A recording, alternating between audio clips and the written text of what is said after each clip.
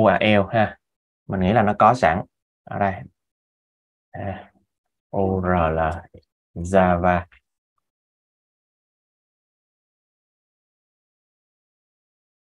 Thì ở trong Java nó cũng sẽ có một cái class là class URL từ class URL này các bạn sẽ kết nối đến được một cái địa điểm nào đấy. Ví dụ như là các bạn có thể là kết nối đến một cái trang HTML nào đấy. Rồi sau đó các bạn sẽ có thể đọc được dữ liệu từ cái trang HTML đó về. Các bạn có hiểu kịp không ạ? à? Các bạn có hiểu kịp không?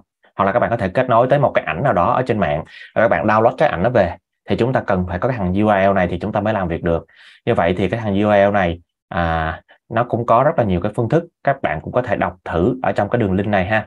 Trong cái Java 8 các bạn lên đây các bạn search thì các bạn thấy à, ví dụ như là à, từ một cái địa chỉ à, URL đó các bạn có thể lấy ra được một cái file các bạn có thể lấy ra được một cái địa chỉ host lấy ra được cái đường dẫn hoặc là các bạn có thể lấy ra được cái cái port cái bọt để mà kết nối tới cái cái, cái đó là bao nhiêu? Rồi sau đó các bạn có thể là open một cái connection ra hay là open connection để chúng ta từ cái đối tượng URL connection này nè thì các bạn có thể lấy rất là nhiều thứ. Ví dụ các bạn có thể get được cái content của cái một cái địa chỉ nào đó các bạn có thể copy nguyên một cái trang một, nguyên một cái page nguyên một cái page HTML về trên máy tính của chúng ta được ha. Đó các bạn có hiểu kịp không ạ? Thế thì bây giờ để mà dễ hiểu thì mình cũng sẽ tạo cho các bạn à, một cái ví dụ nhỏ trong cái ví dụ này, mình à, mình sẽ sửa một chút xíu cái bài, cái cái cái phần này. Tại vì chúng ta làm nhiều cái ví dụ nhỏ trong một cái bài á. Thì à, ở đây mình mình sẽ sửa lại cái thằng này ha. Mình refactor nó đi. Refactor rename. Mình chọn đây là ví dụ về inet address nha. Mình sẽ tạo cho các bạn thêm cái ví dụ về cái à, URL Java class ví dụ về URL đó các bạn. Thì ở đây các bạn sẽ cho mình một cái hàm men nhé. Trong cái hàm men này thì à, chúng ta cũng try catch đi để cho nó tại vì à, tại vì khi làm với những cái thằng này thì nó rất là dễ xảy ra những cái tình huống lỗi. Ví dụ là chúng ta không có kết nối được tới cái địa chỉ đó. Ví dụ nha bây giờ mình sẽ lấy một cái trang Wikipedia nào đó đi. Chúng ta sẽ đi tìm xem à, uh, Wikipedia xem có gì hay hay không? Việt Nam đi. Chúng ta lấy ra cái đất nước là Việt Nam ha. Chúng ta sẽ đọc dữ liệu từ cái trang này. Việt Nam. Rồi Việt Nam. Um, ok here. Sorry các bạn mình đang bị tiếng Ba Lan. Mình sẽ chuyển về tiếng Việt. À phải không? Không phải à. Không phải trang này à tiếng Việt thì là này là chữ V.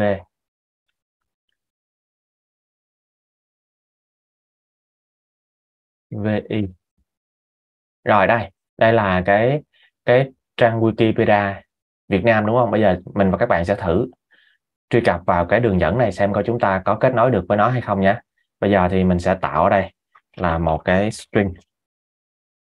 Rồi, từ cái, đây là cái thằng này các bạn nhé à, sorry nãy giờ mình để một cái màn hình khác các bạn không thấy. Đây là cái thằng Wikipedia nè của Việt Nam nè. Thì mình sẽ thử đọc dữ liệu từ cái thằng này về thử coi được không? Thì à, mình sẽ tạo ra một cái URL URL string. Thì mình sẽ cho nó bằng cái thằng này. Đó các bạn có hiểu kịp không ạ?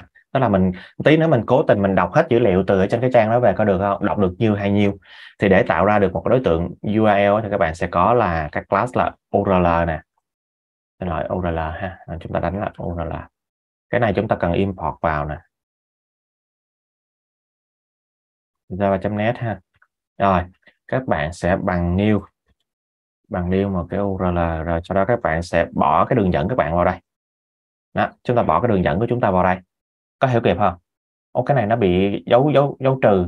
Có nghĩa là có một cái phương thức khác thay thế rồi. Các bạn các bạn các bạn có thể đọc và các bạn xem cái phương thức khác thay thế nó là gì ha? Có thể là các bạn có thể sử dụng là cái URL này chúng ta chấm. Không có. À, thôi thì nếu không có chúng ta chúng ta cứ sử dụng tạm nhé. Chúng ta có thể Google search thêm để xem coi nó có một cái phương thức thay thế nào đó. URL string ha cái thằng mà cái thằng mà bị gạch ngang á, có nghĩa là nó đã có một cái giải pháp khác rồi. À, để mà tạo ra cái đối tượng này. Thì để xích click vào đây xem nó có hướng dẫn không. Đây multicast observer cast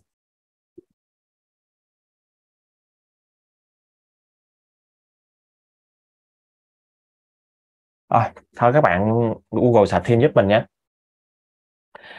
Ở đây thì coi như là mình mới có cái việc là tạo đối tượng thôi.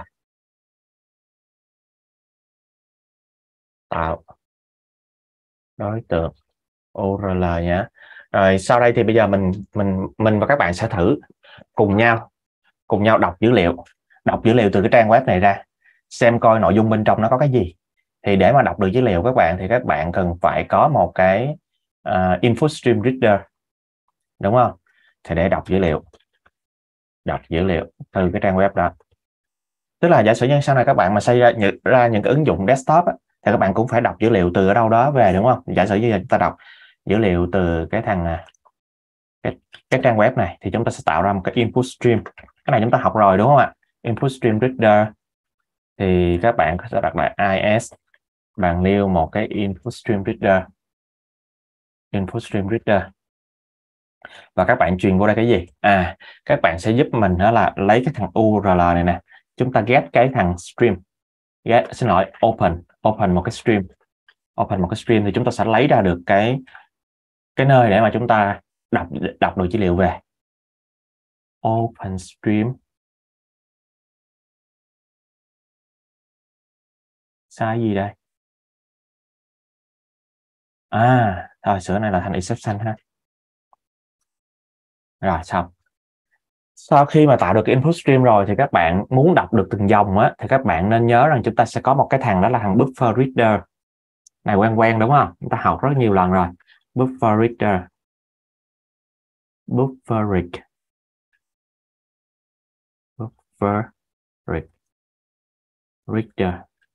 ok thấy rõ không các bạn? Chúng ta đánh ở đây là br tức là mình uh, dùng cái từ khóa cái viết hoa đầu tiên đó các bạn ha. Br nè. Thì đây các bạn sẽ có new một cái uh, buffer reader và chúng ta sẽ bỏ vào đây cái is cái thằng phía bên trên là cái input stream đó các bạn rồi sau đó các bạn mới bắt đầu các bạn đi đọc đúng không? Hay đọc thì rất là dễ thôi chúng ta có một cái biến là chúng ta cho nó là biến này bằng like đi biến like đi ha. Thì bây giờ mình sẽ quay. Quay quay khi nào còn đọc được dữ liệu. À, khi nào còn đọc được dữ liệu là khi cái thằng like này mà nó bằng với cái br chúng ta chấm read một cái dòng read cái line lên. Và cái thằng này nó không bằng luôn có nghĩa là nó có dữ liệu đúng không? Có nghĩa là nó có dữ liệu. Thì bây giờ mình sẽ in cái thằng này ra cái cửa sổ console thôi. Tức là chúng ta không làm gì hết chúng ta in ra cửa sổ console thôi. Thì lúc này mình sẽ in cái line của mình ra. Các bạn có hiểu kịp không ạ? Và sau đọc xong rồi thì các bạn có thể đóng cái reader của chúng ta lại. Close ha. Hiểu, hiểu kịp không nè? Tức là bây giờ chúng ta đang cố gắng chúng ta sử dụng cái đối tượng URL để chúng ta đọc dữ liệu từ một cái website từ một cái trang web về. Bây giờ mình và các bạn sẽ đọc thử nha. Mình sẽ run file đây rồi xem coi nó có đọc được gì không? Đó nó đọc được rất nhiều thứ nè. Các bạn hiểu kịp không? Giả sử như bây giờ này nó dài quá các bạn thấy không ạ? Nó đọc được rất nhiều thứ đây. Bây giờ mình cố tình mình copy Ctrl A Ctrl C cái này và mình sẽ đi mở ra một cái gọi là à, HTML online. Các bạn nhìn ha. Thì bây giờ mình cố tình mình pass mình pass cái này vào thử xem coi nó có ra được kết quả gì không. Đây là cái đoạn code mà mình lấy từ mình download từ từ trên một cái đường link về. Mình pass nó vào đây đó, các bạn thấy không? Đây nè, đây là cái đường dẫn nè. Đây đây là những cái mà chúng ta lấy về được nè. Đó. Kịp không các bạn? Các bạn có hiểu cái chúng ta đang làm gì không? Chúng ta đang sử dụng cái thằng URL để chúng ta đọc dữ liệu. Đó. thì khi mà chúng ta có những cái phần mềm, nó sẽ giúp cho các bạn tải những cái trang web về, hoặc là nó sẽ giúp cho các bạn cào những cái dữ liệu này về để các bạn lưu trữ trên máy tính của chúng ta. Rồi chúng ta sẽ làm việc à, chúng ta sẽ à, phân tích cái dữ liệu đó. Các, các, các bạn có hiểu kịp không ạ? À? thì dựa trên cái thằng URL này chúng ta hoàn toàn có thể là chúng ta đọc được dữ liệu từ bên trong một cái bên trong một cái gì? Một cái trang web một cái đường link nào đó. Bạn nào hiểu thì các bạn nhấn cho mình chữ ok nhé để chúng ta có thể tiếp tục. Nếu có câu hỏi các bạn có thể gửi trong ô chat. Được chưa? Nói chung hồi nãy giờ chúng ta đang học hai thứ. Thứ nhất là các bạn nhớ giúp mình là cái thằng inet address này. À, giả sử các bạn chuyển sang một cái ngôn ngữ lập trình khác thì nó cũng sẽ có những cái thằng nó tương tự như như vậy ha. Rồi cái thằng URL cũng vậy. Cái th- ngôn ngữ nào nó cũng sẽ có những cái thằng giúp chúng ta có có thể kết nối đến những cái URL và từ đó chúng ta có thể tạo ra những cái uh, thông tin này kia. À, chúng ta có thể đọc được thông tin từ một cái đường dẫn nào đó. Chúng ta lấy được lấy về còn việc lấy về làm gì thì chúng ta không bàn tới. Ở đây là chúng ta đang học cái kỹ thuật để chúng ta có thể đọc được dữ liệu từ một cái đường link nào đó ở trên mạng, người ta cho chúng ta. Chúng ta đem về được là coi như là chúng ta đã đã thành công rồi ha. Các bạn hiểu kịp không ạ? À? các bạn nhớ giúp mình ha. Rồi, bây giờ thì à, để mình xem coi. Uh-huh. giả sử như bây giờ mình cho các bạn thêm một cái bài tập đi. Các bạn có một cái mảng. Bây giờ các bạn cần phải kiểm tra xem cái website đó nó có đang hoạt động hay không thì đố các bạn các bạn làm sao để các bạn làm được? Giờ mình làm thêm một cái bài tập nữa ha. Cho các bạn thêm một bài tập nữa để cho các bạn quen ha. Ví dụ ở đây mình sẽ mình sẽ tạo ra một cái ví dụ URL 2 ha, để cho các bạn hiểu hiểu hiểu nhiều hơn.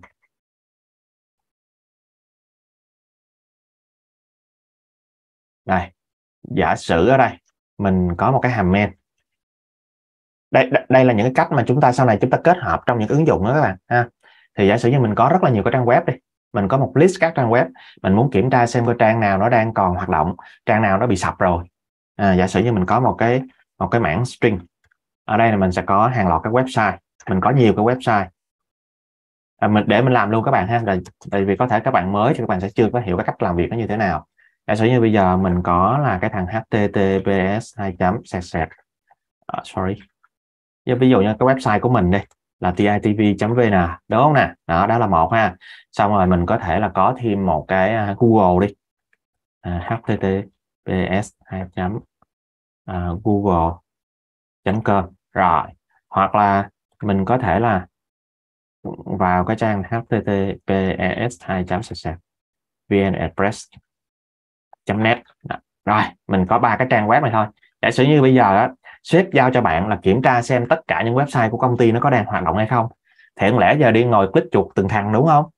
Giả sử như bây giờ là một cái một cái doanh nghiệp mà họ họ phục vụ là deploy website cho cho khách hàng đi. Ví dụ như công ty của mình bên đây là cũng đang sử dụng, dùng một cái dịch vụ của thằng khác, là cái thằng đó nó có khoảng là 6.000 6.000 cái website, tức là cái chỗ đó nó quản lý khoảng 6.000 cái cửa hàng online nó thì không lẽ giờ ngày nào nó cũng đi click chuột từng cửa hàng để mà nó xem coi cái cửa hàng đó nó có hoạt động hay không hay là cửa hàng nó bị sập rồi đúng không ạ? Thì không thể nào mà chúng ta ngồi chúng ta click chuột từng cửa hàng được chúng ta cần phải đưa nó vô một cái mảng rồi chúng ta đi kiểm tra xem coi cái website này nó có hoạt động hay không. Thế thì bây giờ để chúng ta kiểm tra xem là một cái website ấy nó có đang hoạt động hay không thì giả sử như bây giờ mình viết một cái phương thức khác đi mình viết một cái phương thức ở đây là public ha static à, phương thức tĩnh luôn ha giả sử như mình đây là, là void đi. Void mình sẽ là check check website. Rồi thì uh, mình sẽ cho ở đây nó là một cái URL string. Các bạn có hiểu kịp không ạ? Có hiểu cái bài toán của mình không? Mình đang muốn là có rất nhiều cái đường link và mình hỏi rằng là cái website này có hoạt động hay không thôi. Thì bây giờ muốn biết nó hoạt động hay không thì rất là dễ thôi. Đầu tiên là các bạn phải kết nối được tới nó đúng không? Nếu mà không kết nối được thì chắc chắn là chắc chắn là cái ông này là ông không ông ông, ông không có hoạt động rồi à, như vậy thì cái việc đầu tiên là chúng ta phải kết nối nè. Chúng ta sẽ tạo ra một cái à, các bạn có thể new bằng new một cái URL à, rồi. Đây các bạn có thể tìm tìm giúp mình ha. Bạn nào mà tìm thành công rồi thì các bạn có thể comment giúp mình coi là các phương thức đã được thay thế cho cái việc mà tạo ra một cái URL này là URL này. Nó đã nó đã chuyển sang cái thằng nào mới rồi thì các bạn có thể comment giúp mình. Tại vì à, chúng ta đi lập trình đó, các bạn sẽ gặp cái này rất là thường xuyên. À, khi mà cái thư viện nó cập nhật mà chúng ta chưa có đọc kịp á, thì nó đã có những cái mới thì nó sẽ gạch ngang như thế này để nó cho các bạn biết rằng là có một cái phương thức khác thay thế. Đây thì à, à, mình nhờ các bạn giúp mình. Đó là à, xem xong học xong bài này các bạn sẽ comment cho mình biết coi cái phương thức thay thế nó là cái gì. Các bạn phải research một chút ha. Rồi ok. Thì giả sử như các bạn mà các bạn mà bị bị lỗi á bị lỗi chỗ đây là các bạn có thể là xuất ra một cái thông tin luôn đó là chúng ta không tìm thấy đúng không? Ờ, thì bây giờ mình chia nhỏ ra nè. Giả sử như ở đây mình có một cái lỗi là à, unknown đi. Unknown host.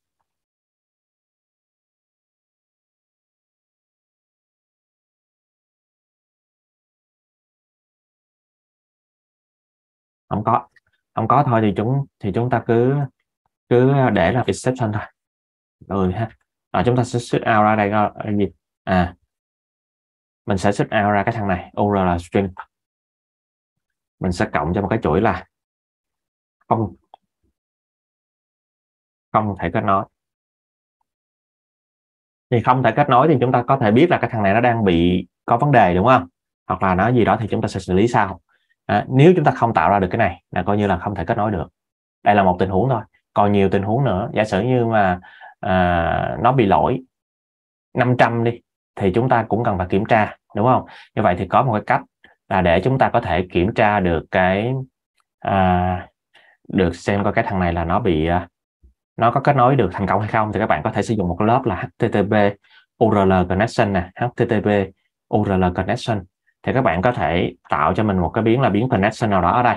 Rồi các bạn sẽ lấy cái gì? Các bạn sẽ lấy cái url này các bạn chấm get get connect get hả ta? Hay là open? Open connection. Các bạn thấy không? Open connection ở đây. Thì chỗ đây thì chúng ta phải ép kiểu một chút nha các bạn nhé. Các bạn ép kiểu một chút giúp mình. Đó. Thì nếu như cái thằng này nó kết nối thì khi mà nó kết nối các bạn thì chúng ta sẽ có một cái khái niệm cái niệm này là các bạn là cái HTTP HTTP code. HTTP code là gì? Các bạn comment cho mình tất cả những HTTP code mà các bạn biết đi ạ. Có nhớ không? À, kiến thức này chúng ta học qua học lại từ những cái khóa học khác đúng không? HTTP code mà các bạn thường hay gặp nó là gì? Ừ. Ừ, ví dụ như là thành công thì nó là gì? Nó là 200 không có quyền truy cập là gì? 401 đúng không? Chưa đó là chưa đăng nhập. 403 là không có quyền truy xuất. 500 là lỗi từ server. Rồi 404 là trang không tìm. Tìm thấy có nhớ cái này không? Tập làm quen ha. Chúng ta dần dần chúng ta cần phải cần cần phải làm quen với những cái thằng này và chúng ta cần phải là chuyên nghiệp. Nói phát là biết luôn. Cho dù là cái cái ngôn ngữ lập trình gì gì đi nữa thì ví dụ như nói phát a à, code 200 401 403 500 gì đó thì có thể cái này không biết là trong trường đại học chúng ta có được học kỹ hay không.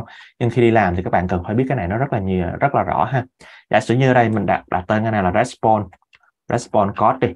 Thì mình mình hoàn toàn có thể là khi mà chúng ta truy cập đến cái đường link đó thì các bạn có thể lấy cái connection này nè. Các bạn chấm get response response code. Có nghĩa là chúng ta sẽ lấy ra được cái dãy các mã số 200 401 403 hay gì gì đó đúng không nè? Các bạn chờ chút ha. Cái à, cái máy của mình nó bị à, bị off. Các bạn có thấy cái màn hình của mình không ạ?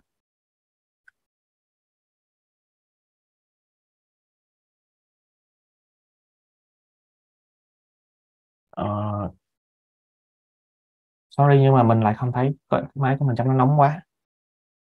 Các bạn chờ mình chút xíu ha.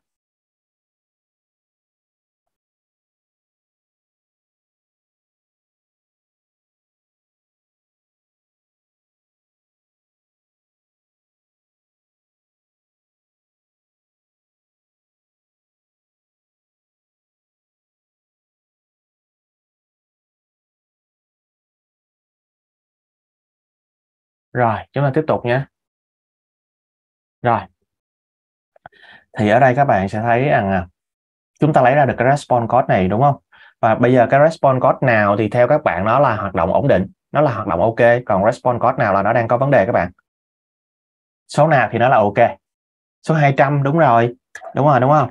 Chúng ta sẽ if nè. If mà cái cái cái code mà nó trả về cho chúng ta nó bằng bằng 200 thì cái này ok, kết nối thành công, hoạt động ổn định à, chúng ta có thể xuất out ra một cái câu là gì? À chúng ta sẽ xuất out ra là cái URL string này nè đúng không? Thì chúng ta sẽ cộng cho một cái chuỗi ví dụ như là à, trang web đang hoạt động trang web hoạt động. Đó. Còn ngược lại ngược lại thì nó có thể rơi vào những cái tình huống là cái trang này không tìm thấy nữa 404 hoặc là nó bị lỗi ở server hay là khoan không hoạt động gì đó đúng không? Thì chúng ta có thể ghi một cái câu như thế này là cái này không hoạt động mà chúng ta kèm theo luôn. À không hoạt động. Rồi chúng ta cộng cho nó một cái mã. Không hoạt động. À mã code. À, chúng ta cộng cho cái code mà người ta trả về á để chúng ta biết coi xem, xem là nó đang bị cái gì. Có hiểu không các bạn? À, giả sử sau này ship mà giao cho chúng ta uh, quản lý cái chừng 20 30 cái trang web của công ty thì chúng ta phải viết code chúng ta làm chứ. Chứ còn ngồi đó click chuột thì biết bao giờ mới xong việc. Được không nè? Rồi thế thì bây giờ ở trên đây rất là dễ thôi. Mình sẽ for for each. Đó tức là chúng ta sẽ for từng cái website một. Chúng ta sẽ gọi cái hàm là check website. Chúng ta bỏ cái website của chúng ta vào đây là xong. Đây thằng này thằng này thằng này. Từ thằng một nha. Nó sẽ được đi kiểm tra xem coi nó có hoạt động hay không. Bây giờ mình cố tình là vn express một đi mình cố tình là thằng này không tồn tại, đúng không? Là nó sẽ không kết nối được. Như vậy thì mình sẽ run thử nè. Run. Rồi, xem coi thằng nào hoạt động và thằng nào không hoạt động nhé. Đây TITV là trang web hoạt động nè. Thằng Google cũng đang hoạt động nè. Nhưng thằng VN Express 1.net thằng này là không thể kết nối được. Tại vì cái thằng này nó đâu có tồn tại, đâu mà kết nối được. Các bạn có hiểu kịp không ạ? à? Các bạn có hiểu kịp cái bài toán của chúng ta chưa? Ở đây là một cái ví dụ nhỏ nhỏ thôi nhưng mà nó cũng có thể được ứng dụng trong thực tế. Nếu như mà các bạn có nhu cầu quản lý những cái những cái hạ tầng của bạn các bạn có thể là cho uh, cái việc kiểm tra. Ví dụ các bạn là nhân viên uh, quản trị của một cái trường đại học thì các bạn biết rằng là trong trường đại học nó có rất nhiều cái website nó có rất là nhiều cái server. Các bạn hoàn toàn có thể là kiểm tra xem một cái website một cái server nó có đang có đang có hoạt động ổn định hay không. Nếu như không hoạt động ổn định á, thì chúng ta sẽ có cái hướng xử lý có có kịp không các bạn? Có hiểu kịp không nè? Nhá